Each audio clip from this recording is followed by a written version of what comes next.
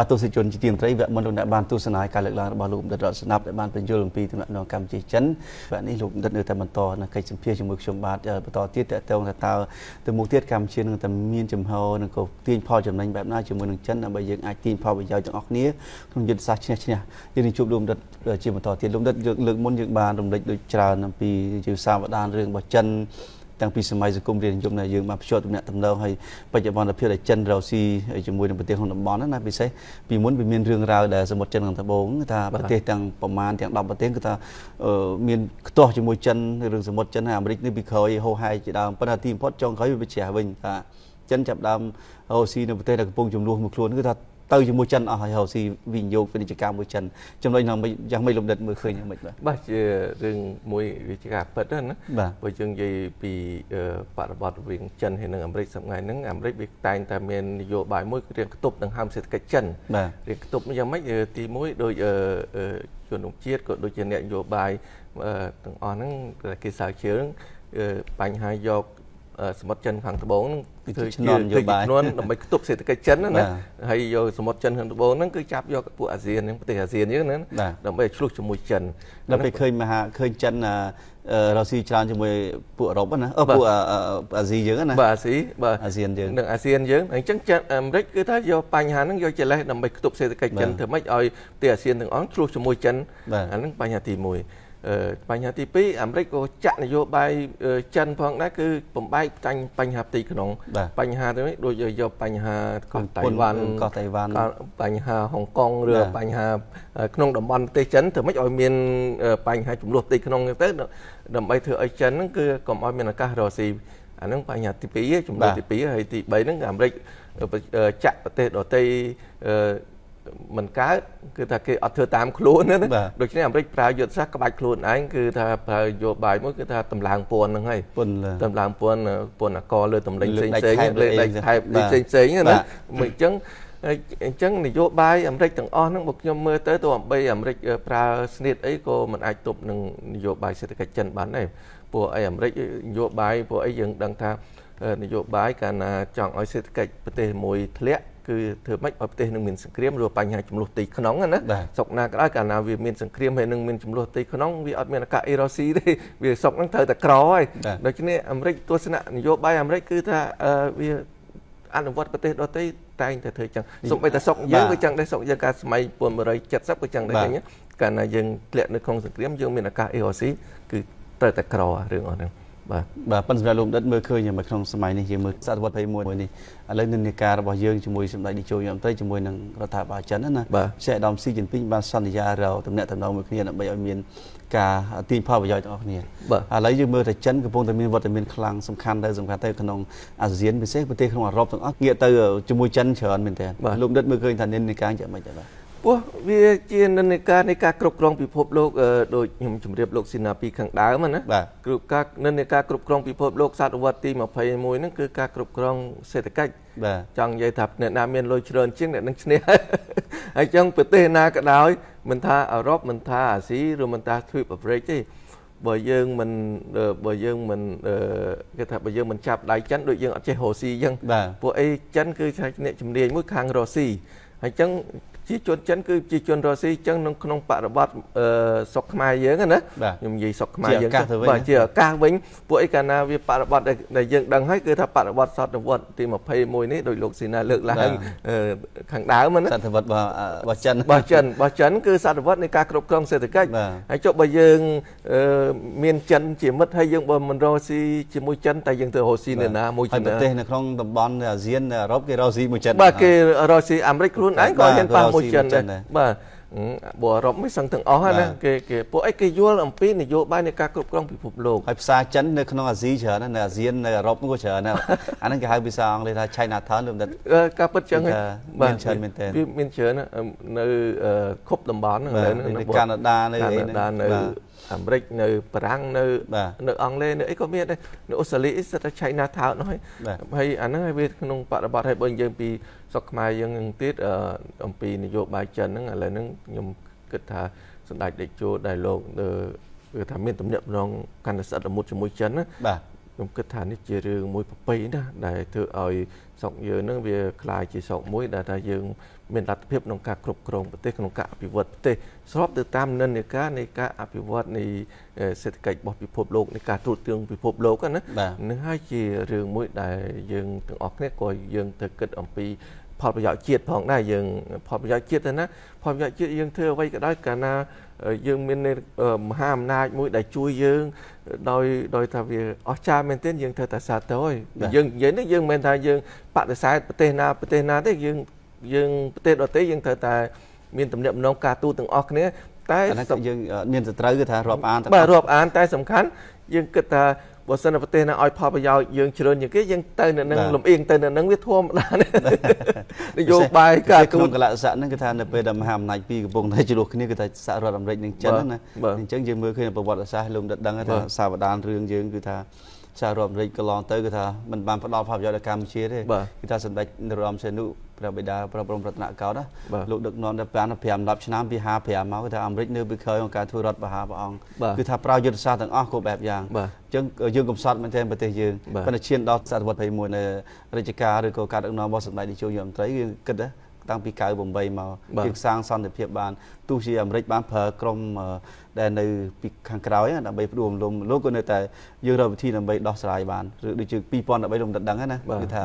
បដិវត្តពណ៌រូបភាពនឹងឥឡូវយើងបានលៀងជំរះអស់ហើយគឺថាសំខាន់ណាស់នវត្តច្បាប់លំដិតមើលយ៉ាងម៉េចមើលពេលនេះมันអាចថាងាយរងគ្រោះទៀតដូចពេលមុនទេដូចសម័យសង្គមរាស្ត្រនិយមទេឬ18មីនាទេមើលទៅអាចយើងអាចដល់ពេលសាងសុខសន្តិភាពប្រទេស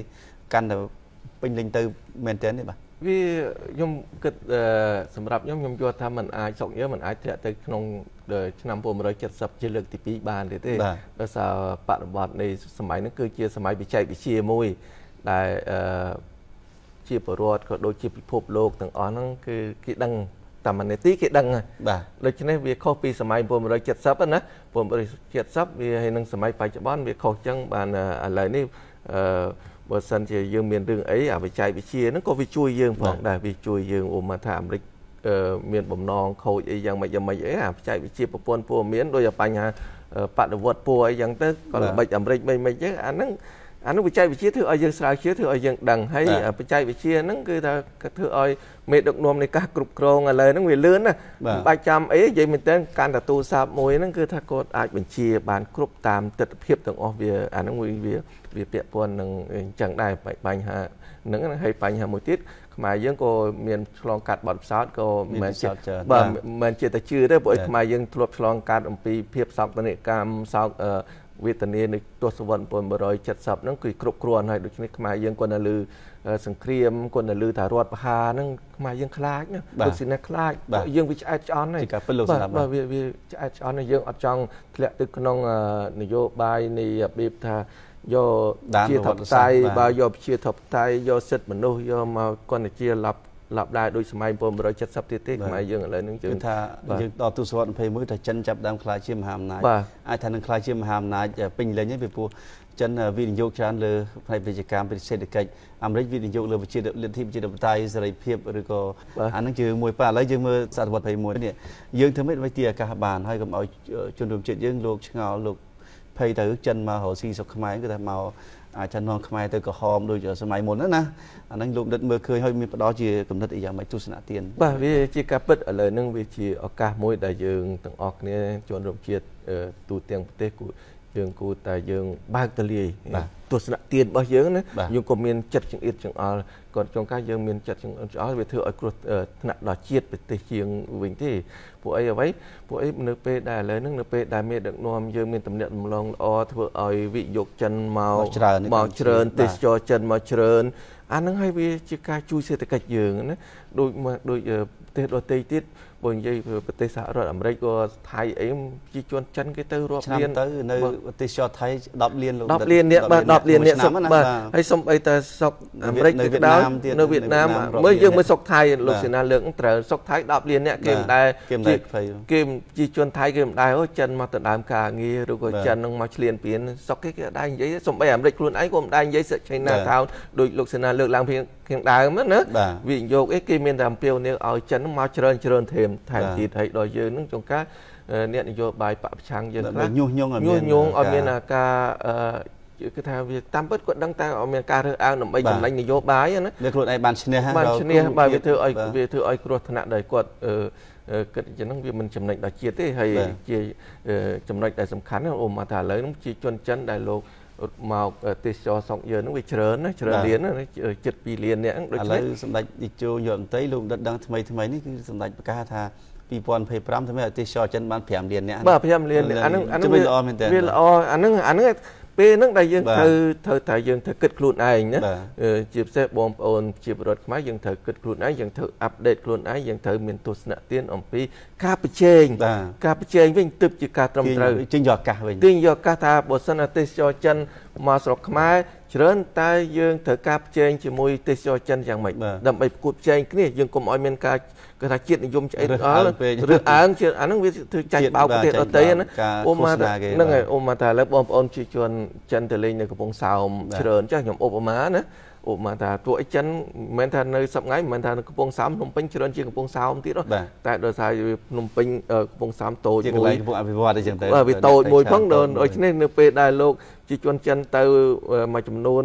តិចមែនតើផងយើងតិចជាងភ្នំពេញមើលទៅដូចឃើញរូបភាពច្រើនអញ្ចឹងតាមពិតទៅជាងកំពង់ភ្នំពេញបាទតែគាត់ចេះទោះបីយ៉ាងណាក៏ដោយក៏យើងគិត ជាតិយើងហ្នឹងក៏ថាបងប្អូនជាពលរដ្ឋនៅខ្មែរយើងទាំងភ្នំពេញទាំងកំពង់សោមឬខេត្តដទៃយើងត្រូវគួតជែងអំពីទីផ្សាររបស់ចិនវិញអ៊ុំថាជាជនចិនទេសចរចិនឬក៏អ្នកវិនិយោគចិនដែលរស់មកស្រុកខ្មែរច្រើនជាងអឺរ៉ុបតែយើងត្រូវសិក្សាតើចិនគេត្រូវការអីណាអាហ្នឹងចំណុចសំខាន់មែនទេចំណុចអាហ្នឹងវាឧមាថាចិនគាត់ត្រូវការឧមានៅកំពង់សោមខ្ញុំបានជួបបងប្អូនលក់តំណែងដែរពីមុនគាត់លក់អាស៊ូវីនីអា ធ្វើក្រុមធ្វើពីអីចឹងណាគាត់ថាលក់អត់ដាច់ខ្ញុំបានប្រាប់គាត់ថាបងឯងបើសិនជាជនចិនមកអញ្ចឹងឥឡូវយើងឈប់លក់អាស៊ូវីនីអញ្ចឹងទៅពួកអីជាជនចិនគាត់មិនពេលខ្លះអាហ្នឹងយើងសិក្សាពីទីផ្សារណាគាត់អត់ត្រូវការទិញអាហ្នឹងទេគាត់ត្រូវការទិញរបស់ញ៉ាំអូមកបងឯងត្រូវបើកហាងបាយឆ្ងាញ់មានអនាម័យអញ្ចឹងទៅដូច្នេះបងប្អូនដែលមកទេសចរចិនបងប្អូនចិនដែលនៅធ្វើការកំពង់សោមហ្នឹងគាត់អាចមកញ៉ាំបាយហាងបងឯងបាទ ផ្លាស់ប្ដូរមុខរបរវិញយើងគិតណា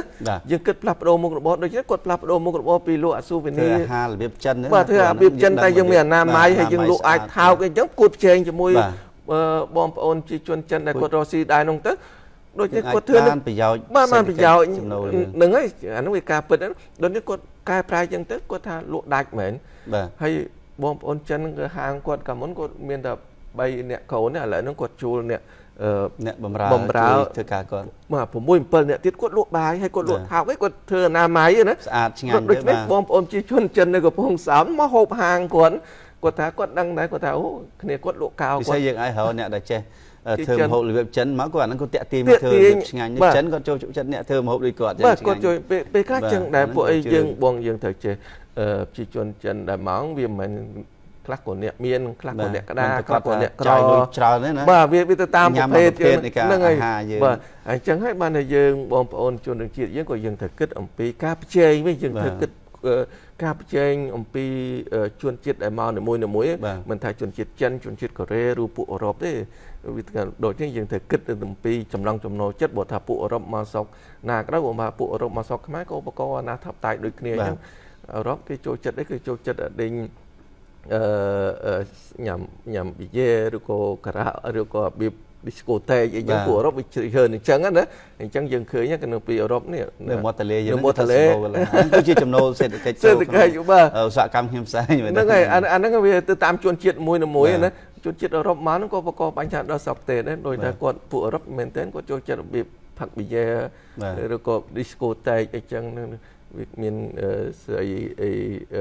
កំសាន្តកំសាន្តអីចឹងណាដូចចឹងដូចគាត់ចូលចិត្តថៃអីចឹងណាអានោះវាទៅតាមជនជាតិនីមួយៗអញ្ចឹងអារឿងការប៉ះពាល់នៅ វិស័យទេសចរហ្នឹងនិយាយមែនទែនស្រុកណាដោយស្រុកណាសំខាន់ជាការគ្រប់ច្បាប់អាចយើងអនុវត្តច្បាប់យើងណាយើងមានច្បាប់ហើយប៉ុន្តែសំខាន់ទេសចរណាក៏ក៏មកបានហើយសំខាន់ជាអនុវត្តច្បាប់ទៅលើពួកគាត់ថាលើឯងខុសគឺត្រូវទទួលខុសទៅលើមុខច្បាប់ដូចប្រទេសក្នុងពិភពលោកលោកដឹងថាទេសចរទៅប៉ុន្តែគេប្រើច្បាប់មកគេអនុវត្តទៅលើច្បាប់លោកនិតជំរុញឲ្យមានការអនុវត្តច្បាប់ហ្នឹងយ៉ាងម៉េចទៅលើតួអង្គណាឬប្រជាជនណាដែលធ្វើខុសយើងគួរអនុវត្តច្បាប់កុំខ្លាយតើតែខ្មែរឬបរទេសមិនហ៊ានអនុវត្តលើខ្លាយហោហែដោយសារនេះជាសំណួរចុងក្រោយផងលោកដិតបាទបាទវាជាការពិតអីខ្ញុំក៏តែងលើដែរបញ្ហាពាក្យពន្ធច្បាប់ណាជាពិសេសលើដល់បងប្អូនដូចជាជនរោគជាតិថាហូឲ្យតែជនជាតិបរទេសគាត់មិនសូវជាជឿតែមានគាត់ជឿតែនិយាយមែនទេអាហ្នឹងគឺថាផ្នត់គំនិតនៃការខ្លាចខ្លួនឯងទេសិតតែអស់ឲ្យតែពួកបរទេសឬពួកជនជាតិអីផ្សេងផ្សេងមកហ្នឹងឲ្យតែឃើញគេមានអីតិចសិតតែថាគេមានខ្នងអីចឹងណាអត់ហ៊ានអនុវត្តច្បាប់តាមពិត ពួកបងប្អូនយើងក៏ដូចជាសមត្ថកិច្ចយើងទាំងអស់ហ្នឹងតាមពិតគាត់ខ្លាចខ្លួនឯងទេខ្ញុំគិតណាតាមពិតបងប្អូនទេសចរឬក៏អ្នករស់ស៊ីមួយចំនួនអឺ និយាយមែនទែនវាគ្មានខ្នងគ្មានផ្អែកបើមានក៏មានតិចបំផុតដែរខ្ញុំមកវាមិនមែនទៅអត់ទេណាបើមានខ្ញុំថាវាមានអ្នកមានអ្នកមានអីចឹងទៅមហាសេដ្ឋីកម្ពុជាកម្ពុជាវាតែងតែមានការការពារសុខភាពជាអង្គរៈតែអ្នកដទៃទៀតខ្ញុំគិតថាវាមិនមែនតែមានខ្នងមានផ្អែកហើយចឹងទស្សនៈទានហ្នឹងវាធ្វើឲ្យយើងនឹងខ្លាចខ្លួនឯងទេ វាមិនបង្អាក់នៃការអនុវត្តច្បាប់របស់យើងបង្អាក់នៃការអនុវត្តច្បាប់ខ្លួនឯងឥឡូវឥឡូវលោកស៊ីណាឥឡូវយើងអានឹងយើងនិយាយជាការពិតអ៊ុំថាខ្ញុំខ្លួនឯងចឹងណាខ្ញុំខ្មែរហើយខ្ញុំនិយាយខ្មែរខ្ញុំស្គាល់អស់លោកខ្មែរច្រើនបើខ្ញុំខុសអីខ្ញុំទៅ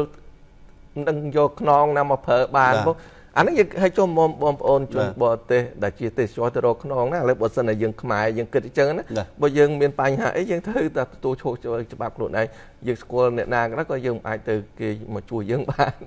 អាហ្នឹងវារឿងសំខាន់ណាអាហ្នឹងអាហ្នឹងខ្ញុំគិតពីការអនុវត្តច្បាប់ណាអញ្ចឹងគ្លីបឱកាសនេះខ្ញុំគិតថាបងប្អូនជាពិសេសសមត្ថកិច្ចទាំងអស់ គួរតែប្រឹងច្បាប់នៅពេលដែលយើងឃើញមានបញ្ហាបាទវិនិយោគអីយើងគួរតែប្រឹងច្បាប់វាធ្វើឲ្យអ្នកវិនិយោគកាន់តែមានជំនឿទុកចិត្តជាពិសេសខ្ញុំឃើញនៅសប្តាហ៍នេះខ្ញុំឃើញដូចជាការបើកបរបើកអីបើសិនតែឃើញមានការបើកបរដូចមកតែជួនបរទេសដែលគាត់អត់មាន បានបើកបរឬក៏